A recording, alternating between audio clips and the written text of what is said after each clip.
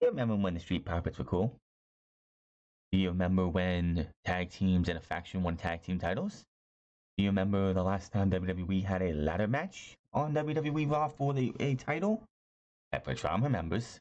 I remember. This show is absolutely atrocious. The fact that you have an opening promo, which is obvious, and then the very next match is a ladder match. The very first match of the show is a ladder match for the United States Championship in a feud that has been the closest thing to a blood feud we have had in a while. And you give the main event to Rusev, Lashley, Lana, and Liv Morgan. Does anyone else see what's wrong with this picture here? The ladder match, something that has been building for weeks, months, if not a year. This could this is obviously the culmination of this feud. This was the end of this feud. Because of how what happened after the match. And it's the first match on the show. Are you kidding me? This just irks me to no end. Then you have the Street Profits. Remember when the Street Profits had their street talk? They'd go out there, they seem natural, they seem cool, they seem like a great fucking team. Now they're doing the Monday after weekend update. Round two. Why? Why are we subjected to this garbage? Ricochet embarrassing himself by confronting Brock Lesnar only to get hit in the Flame of Jewels. To that awful tag team main event, mixed tag team main event, which I'm not even really going to go over because I don't care. Lana, Lashley, Rusev, and um, Liv Morgan, I don't care about. It's funny because the WWE, the WWE on Fox Twitter account brought out the fact that the Super Bowl this year Super Bowl 54, which of course is um, Roman numerals LIV, which would be if they would have Liv Morgan, she would have been perfect for advertisement because it'd be Super Bowl Live. Get it? Just thought that was like if you would have had her on SmackDown, she'd be in a better position than she is on Raw. Anything he does on SmackDown, what I did on SmackDown, is better than this garbage on Monday Night Raw. What the hell is this company thinking? This show is an abomination. This show sucks. The only thing good in WWE main roster right now is is Mandy Rose and Otis, and that's on SmackDown. Elias, if you like to hear him saying every once in a while, is something to stomach as well. Nothing else on main roster television is worth a damn. I would like to say Drew McIntyre, but I'm not getting my hope up, the hopes up for Drew McIntyre because I honestly think they're just going to go out there and have this guy be a loser at the Royal Rumble. This guy should have all the momentum in the world going into the Royal Rumble, and they're probably going to squander it.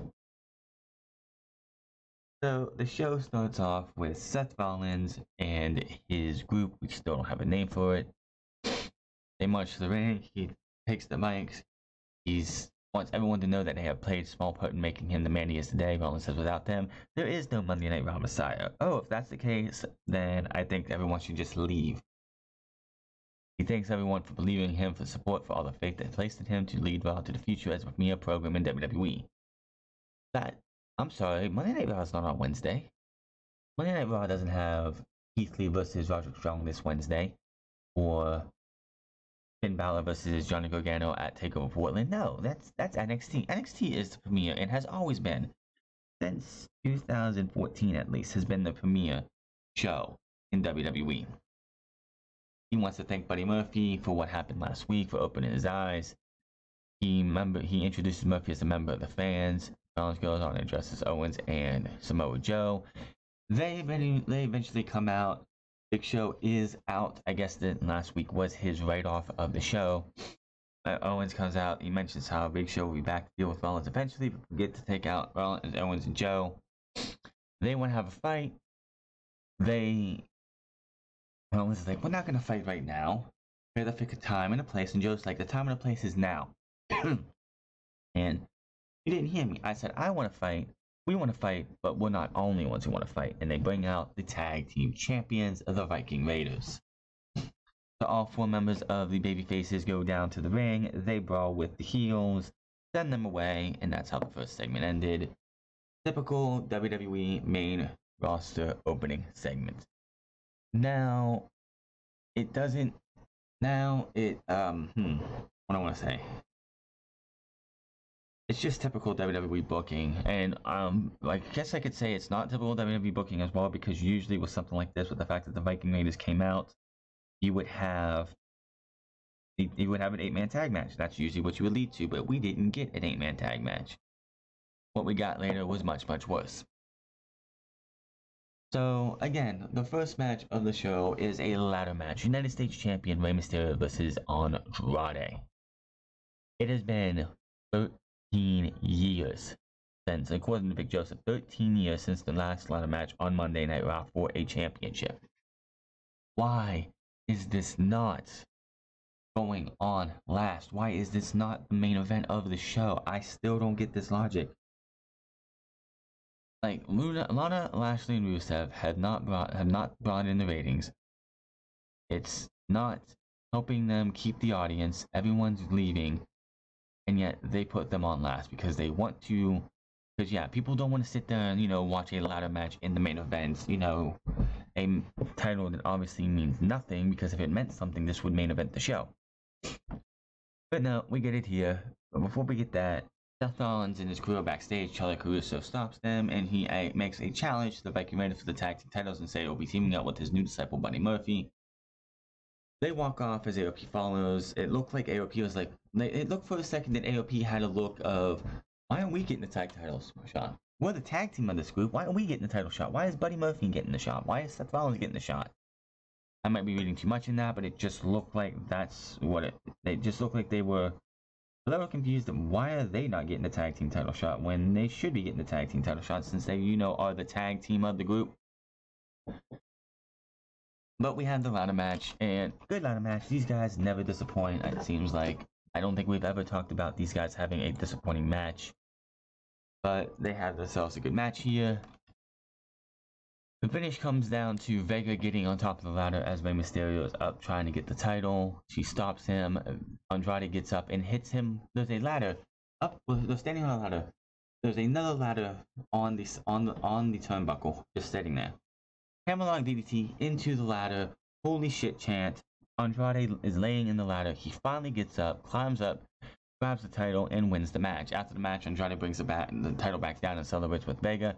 She brings the pad up, trying to get this concrete exposed. He's going to hit the hammerlock DDT onto the concrete, but somebody wearing a Rey Mysterio mask comes out, and it is actually, he pulls it off, and it's Humberto Carrillo. They start brawling, and Andrade retreats up the ramp. Humberto checks on Rey as fans view the champion, and we go to commercial break. Now, this tells you two things. One, Rey Mysterio just had his final shot at the title as he should. He's lost three times. He lost the championship, he lost the rematch. I believe he lost another match, like, and then he lost. And now it's Humberto's turn. So Rey Mysterio is supposed to be eventually joining the um, babyface team of Owens and Samoa Joe to take on the AOP and the Messiah and Buddy Murphy. That is yet to be seen. So, Aleister Black. Oh boy. This guy goes and takes on an enhancement talent with no name. Jobber charges, Black Mass, if you blink you missed it, one, two, three. He goes from Buddy Murphy versus Buddy Murphy versus Buddy Murphy versus Buddy Murphy to enhancement talents. Yawn. Give me a break. Get something for Aleister Black. You got something for Buddy Murphy. Now get me something for Aleister Black. Lesnar comes down to the ring. We have that next. And they have the little they have the little thing with um Paul Heyman doing the same old shtick. He talks about how Lesnar is the only man, no one's worthy of him, and out comes Ricochet for some reason. I don't get why this happened. Why Ricochet was coming out here. There was rumor of something about Ricochet maybe getting a WWE Championship match at the Royal Rumble. It was a rumor that he might be the guy to challenge Brock Lesnar. Why? I don't know. Ricochet has not done a thing to earn a title shot. Yes, it would probably be an excellent match between the two. But what has Ricochet done? He comes out, he wants to fight with him, he calls him, he says he's scared, and he, he eats a low blow. So, what did we learn there? The fact that Ricochet is stupid. They make Ricochet look dumb. Why would Ricochet go out there and make a fool of himself like that? I don't know. But all I know is Ricochet looked like an idiot coming out of this. Randy Orton is backstage. He gives props to McIntyre as he as he Charly Caruso asked him what his thoughts on people saying Drew McIntyre is on par with Randy Orton. Randy Orton says he's not on par with me. Because it's impossible to be on par with a man who can strike out of nowhere in the three most dangerous letters the fans in the arena do finished for RKO uh, for him and he walks off. And then we get this match, Randy Orton versus Drew McIntyre. These guys working well together, but it's all for naught as the OC decide to make their make their presence known. They end up uh, fighting off the OC with the chair. Drew McIntyre and Randy Orton do. basically, you have these guys going out there, give yourself a match, and the OC make a make a deal out of it. They chase him off.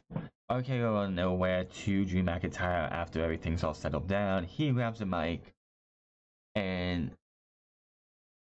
Drew says he should have hit uh, Orton with a claymore and says that one's on me, but it won't happen again and it won't and they are and they're not even. Says he prays to God that in that Orton ends up in the ring with him together with him together in the Rumble on Sunday because Claymore won't come out of nowhere. I'm going to kick your head off your shoulders, win the Rumble, and finally, after all this time, I'm going to main event WrestleMania. Tosses the mic. That is that. I still want to see Drew McIntyre win the Royal Rumble. Will he win the Royal Rumble? Most likely not, because WWE likes to be cruel. It's probably going to be Roman. It's probably going to be Roman. Charlotte Flair backstage with Charly Caruso, being confident about the Royal Rumble. I really don't care what Charlotte has to say. She's not a factor in anything important right now.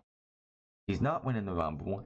Her winning the Rumble would be stupid, even though I know WWE is chomping at the bit to give Charlotte Flair that one accolade they haven't been able to do that do yet. Charlotte Flair, 10-time Women's Champion. It's going to be 17 eventually, probably within the next two years. But WWE and Vince McMahon would love nothing more than give her a Royal Rumble win so she can have that notch on her belt. She has Asuka streak. She won against um she won the women's championship 10 times. She was she main evented WrestleMania. Let's get her a Royal Rumble win now. That's what they want to do. I know it, you know it, and they just need to either get it over with or not. Becky Lynch versus Kairi Sane. This, but before we get to the match, Becky Lynch is in the ring. He said maybe it's Asuka who should be doubting herself against Lynch, and maybe she is. Maybe that's the reason for the sneak attacks and why she's facing Asuka's tag team partner tonight. Lynch asked Asuka did uh, says but Asuka did beat her last year, but who won in the end? Becky went on to make the headlines around the world, while Asuka went to YouTube to make soup. Lynch goes on to deliver another warning to Asuka and says Asuka can't beat her anymore. The mic, raises the title, and out come the tag team champions, Kairi Sane, to fight her. This match was disappointing. Kairi Sane, I don't know if she's still having effects of the concussion she had in December. I don't know if she misses home. I don't know if she misses taming with her um, friend Io Shirai. But Kairi Sane does not look like she wants to be yeah, she doesn't look like the same woman that she was in NXT. She just doesn't seem to have that same oomph. Like, I don't know what it is. It just feels like there's something not there with Kairi Sane. Like, she's just going through the motions. Like, she doesn't care as much as she used to. But she ends up getting put into the disarm her after the exploder after she fights off black exploder, she kicks she gets a kick to the jaw. Lynch finds to disarm her for the tap out win. After the bell, Asuka immediately hits the ring and nails a shining wizard. Asuka applies the Asuka lock and manhandles Lynch. Some fans has boos. Some fans boo. Asuka plays to the crowd for more boos, leaving Lynch on the mat. The tag team champions head to the stage as they Lynch recover on the mat. He did it like it's just I don't know. There was rumors that Kairi Sane and Io Shirai could be moving, could be going back to Stardom when their contracts come up at the end, uh, at the beginning of March. The talk of bringing Io Shirai to the main roster, who sounds not to be very happy in NXT, with well the way her character has been used over the last two years, or the last year I should say. I probably wouldn't be happy either. Maybe it's the money, I don't know. But Kairi Sane and Io Shirai could both be on their way out. It would be a damn shame because both of them are very talented, but I would not want to be I would not want to be in that locker room if I'm not going to be used to my full potential. And honestly, I don't think either Kairi Sane, Asuka, or Io Shirai are. We get the tribute video we got on Friday to Rocky Johnson, who passed away on Wednesday last week. Tyler Shriver stomps the tag team champions, but they're upset with what just happened. They speak in Japanese, and Asuka then says Becky Lynch will not be ready for her at the Royal Rumble, and they laugh as they walk off. And then we get to the tag team, and this isn't even the main event. Raw tag team title match: Seth Rollins and Buddy Murphy versus the Viking Raiders. Not even this is the main event. You had two title matches on this show and neither one main evented. Why? Why is Bobby Lashley, Rusev, and Lana getting main event after main event? They're getting the Baron Corbin Roman Reigns treatment. They get all the main events. Nobody wants to see these matches between these two guys or these segments, and yet they're getting main event after main event. Are you kidding me? This is an absolute joke. Anybody who works at this company should be ashamed in themselves. But we'll get to that later. These guys, these two teams, I still don't get it. Viking Raiders lose the tag team title. Viking Raiders suffer their only their third loss, but why isn't it to the AOP? Why is the AOP not getting the tag team title match? I don't get it. I don't fucking get this. You have two able-bodied guys who should be going out there. We were all waiting and waiting for the Viking Raiders versus the AOP, two horse tag teams, just butting heads, beating the hell out of each other, and we're not gonna get that. Why? Because Vince McMahon said so. Rollins hits a stomp as the referee's back is turned onto one of the Viking Raiders, face first onto the apron. As the referee isn't looking, Murphy, Murphy covers for the one, two, three, and we have new Raw Tag Team Champions. What can you say? Seth Rollins, Buddy Murphy, and the AOP say Rollins says this is a new beginning, like he said. Rollins, he says Buddy Murphy was just fighting Aleister Black last week, and now he's a champion. Rollins says this is just the beginning because they will cement their dominance on Sunday when they, he wins the Royal Rumble match for the second year in a row, and they walk off celebrating. We get the Monday after weekend update. I am not even going over this. This is ridiculous. It's not fun comedy. R-Truth doing him just being himself. That's fun comedy. This is not. The Street Profits again. Remember when they were cool? Remember when they were fun to watch? Remember when they were in NXT doing street talk and they were just the crowd loved what they were doing? Pepperidge Farm remembers. I remember. This this sucks. I feel bad for Angelo Dawkins and Montez Ford. These guys have to be pigeonholed to doing non-funny comedy segments. I, I, I can't even. I have no words to express how angry I am with this. The Street Profits were one of the best tag teams that you had in, in, in NXT. One of the fa- crowd favorites in NXT. And you're having them come up to do Monday after the weekend update. I know they're in uh, NBC Universal, and I know MC, NBC Universal has Saturday Night Live. But do we really need a Monday Night Raw version of Monday of, of Weekend Update? No, no, we do not. Cut this shit and let the Street Profits be the Street Profits, but the damage is done. Matt Hardy, and probably one of his last appearances for for Monday Night Raw, versus Eric Rowan. This guy, future Hall of Famer, one of the greatest tag team wrestlers of the of the of the Attitude Era and of the um, early Ruthless Aggression era, one of the greatest of all time in the one of the greatest of all times, one of the greatest minds in wrestling, getting destroyed and squashed by Eric Rowan. This has got to be Matt Hardy's final straw. This guy is too talented, and it just feels like they're punishing him for what Jeff has done and how Jeff has like just been a nuisance to WWE. They want to give Jeff Hardy all these pushes, give Jeff Hardy all these accolades, and the guy just cannot stay out of trouble. So who suffers in the end? Matt Hardy suffers in the end. So Matt Hardy gets beat. I, I, I can't even. So we get the video package, and if you hadn't sleep by now for the mixed tag team match, if you want to sleep by now, I'm sure you fell asleep during this entire video package. This was your main event. Weeks before we get to that, Simone Joan, Kevin Owens ask what's now next now for the tag team champions. Seth Rollins and Buddy Murphy in the Royal Rumble. Owens says he will deal with the titles later on, but now he will be in the Rumble as well, and he will do what it takes to win and make sure Seth doesn't win. Joe announces his spot in the Rumble as well. Makes it known that he will run through Owens if Owens is standing in his way as a shot at uh, WrestleMania.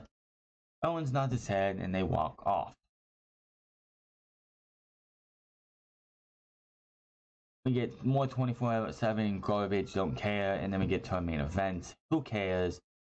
Rusev and Lana, Rusev, Rusev, Rusev and Liv Morgan lose as Rusev is distracted by Lana grabbing his leg, gets hit with a spear, and that is that.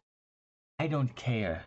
I could care less if this match went on for 20 minutes, if this match went on for 10 minutes, if this match lasted 10 seconds. I don't care. This is garbage. You put a bona fide main event match at the start of the show for this. For this. Vince McMahon, you should be ashamed of yourself, but I know you're not going to. Nobody in WWE cares what the fans want. Nobody in WWE will give what the fans want. They, Vince McMahon, just wants to do what Vince McMahon wants to do, and make a fool of Rusev, make a fool of Liv Morgan, make a fool of Bobby Lashley, make a fool of Lana, which Lana does that well on her own. This man, this this was your go home show. The only positive, the only positive to this show, and there was only one positive. There was no 16 person brawl, a 20 person brawl at the show end of the show to end it. That's gonna probably happen on Friday, as it will happen on the final go home show before us, before the Royal Rumble. We always get at least one. We always used usually get one, but it didn't happen. Ricochet looks like a bumbling idiot. I hope we're not leading to Ricochet versus Brock Lesnar at WrestleMania or anything because that would be absolutely foolish. I don't know who's winning the Royal Rumble. I have my thoughts on that after SmackDown. Probably going to do SmackDown review and a Royal Rumble predictions as well. But that is Monday Night Raw. Hit that subscribe button, comment down below, like or dislike this video. Find me on Twitter at The Frontz Club. Find me on twitch.tv slash The Frontz Club. And I'll see you guys Wednesday or Thursday for AEW Bash at the Beach Part Dukes on the on on the Jericho Cruise. Until then, my name is The Frontz, and I'll see you guys later.